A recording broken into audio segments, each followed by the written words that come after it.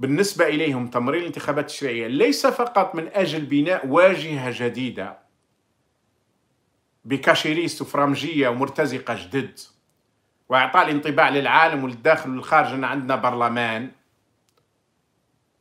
ليس هذا فقط. لكن أخطر من هذا أنه لازم لهم هذا البرلمان لأن دستورهم تاع الاستعمار هذا يقول يجب موافقة الثلثين من البرلمان أي من مجلس الشعبي الوطني.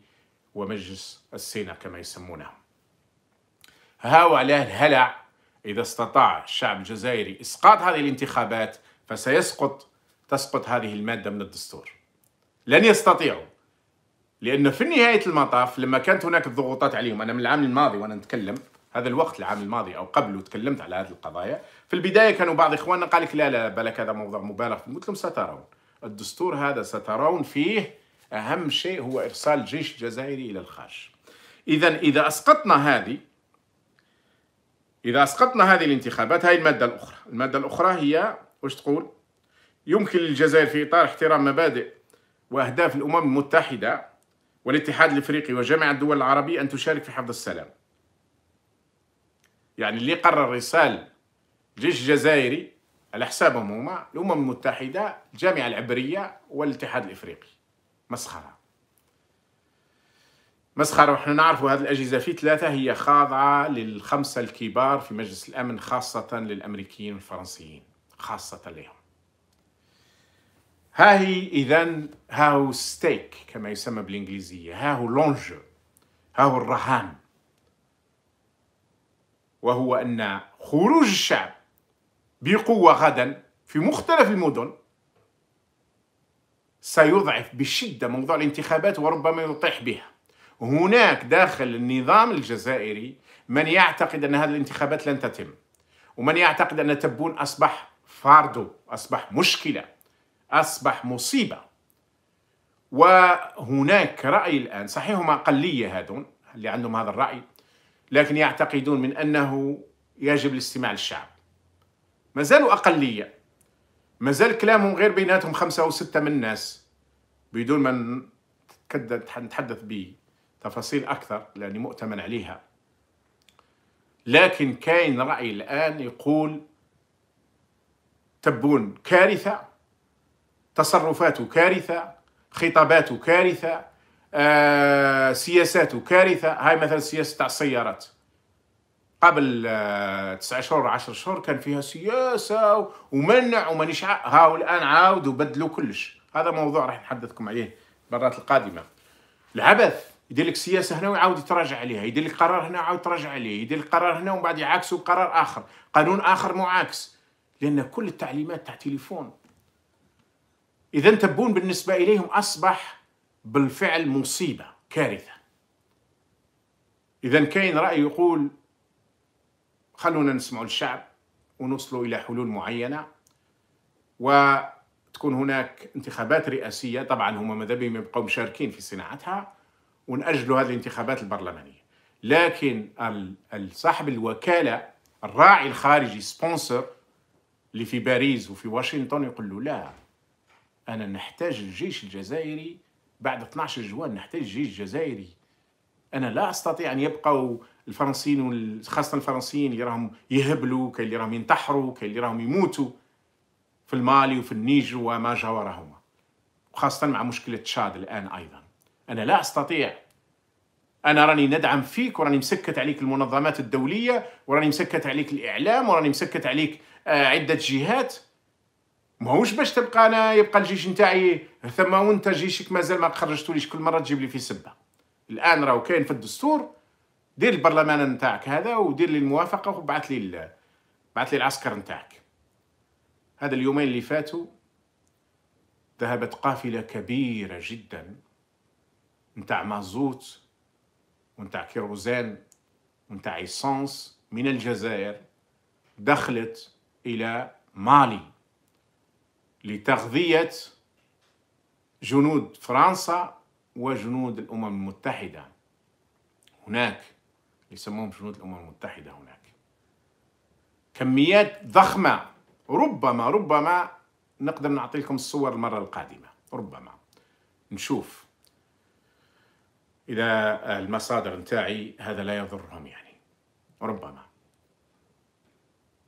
قافلة طويلة. الصورة أنا شفتها راهي موجودة عندي. قافلة طويلة من الستان كيروزين للطائرات مازوت وإيسانس المرة الجاية القوافل اللي تروح ما تروحش هكذا تاع سلعة تروح تاع جنود وضباط وقوات خاصة ومخابرات و و إلى آخره.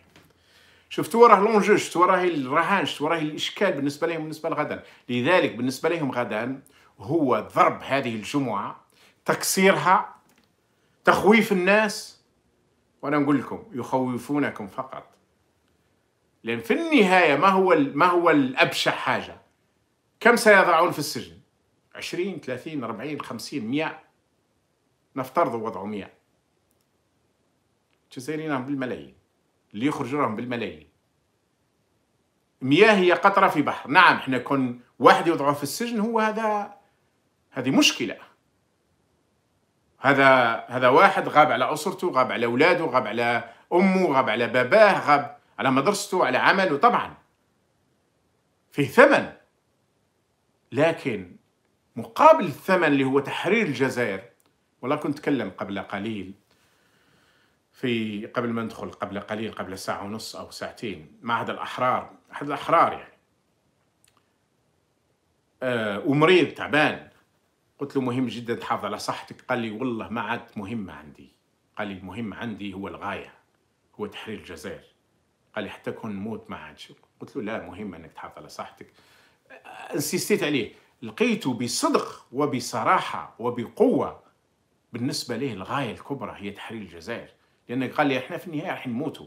قلت له صحيح إحنا راح نموتوا لكن الإنسان يحافظ لأن كل ما حافظنا على أحد الأحرار أو واحدة من الحرائر كلما كان ذلك دفع. والمهم هو الثبات. وهذا اللي نكلمكم فيه دخل السجن دخلوه عدة مرات تقريبا قضى سنتين. ما بين دخلينه أشهر ثم يخرج شهر ولا يعاود يعتقلوه أشهر يعاود يخرج أشهر إلى آخره. فالحمد لله كاين هذاك الثبات العميق. فدون أن أن نقلل من أهمية أن يعتقل واحد أو خمسين أو مئة كي يعتقلنا شخص واحد هذا يعتبر ظلم ويعتبر ضرر. لكن هذا لا يؤثر في مجرى الحراك اللي هو بالملايين. يا سيدي خلينا نقلوا شوية نقولوا بمئات الآلاف. مئات الآلاف. لا يؤثر. إذا فهو تخويف. كلما خوفوا واحد أو وحدة باش ما تخرج كل ما ربحوا. ولذلك أنا أقول لإخواني اللي يوصلهم التخويف أو يوصلهم التهديد أو بالعكس تراجعك عدم خروجك غدا هو لعب بالبلاد. البلاد راه مصيرها يلعب في هذه الأسابيع وفي هذه الأشهر. راهو القضية راهي كريسيال كروشل راهي خطيرة. لأن أي تراجع للحركة أي خوف أي آآ آآ نص نص إزيتاسيون ولا مانيش عارف كارثة. إذا استطاعوا كسر الحراك أقرأوا على الجزائر ياسين. تتكسر البلاد ولو بعد حين تتكسر الدولة ولو بعد حين. يتكسر الشعب ولو بعد حين يتكسر نهائيا. مش كلام بسيط يعني. ولذلك فمهم جدا هذا الحراك. هو بعد الله سبحانه وتعالى أمل لكي لا تنهار مش فقط لقيام دولة الحرية والعدل والقانون لا لا حتى ما هو قائم لا ينهار. هذه العصابة هكم تشوفوا. مش رانا في العهدة الخامسة رانا أبشع من العهدة الخامسة. أبشع. راهم يكملوا في العهدة الخامسة بطريقة أسوأ وأبشع. زادوا غلقوا على الناس الجزائريين أو في اليوم خبر قال لك ممكن يحلوا.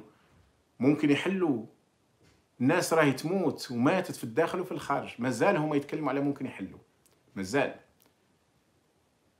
باش يوري كلها قرارات اعتباطية عشوائية هكذا. يقدر يدير لي عشية قرار وغدوة عكسه الشهر اللي فات قرار واليوم عكسه هكذا. ما عندناش ما عندناش دولة ما عندناش حكومة. عصابات. متناحرة متشاجرة متخاصمة. موضوع السيارات. كانت القضية فيه كاع باش ربراب وربعة ولا خمسة من الجماعة يسيطروا على موضوع السيارات. لما جماعة ربراب فشلوا وجماعة الأخرين هما اللي انتصروا عليهم نحاول لهم آه، أي تعلي. أي تعلي فرحات و... وتغيرت السياسة. حتى الحكومة هذه ربما أهم منصب هو هذا تاع أي تعلي فرحات اللي نحاوه.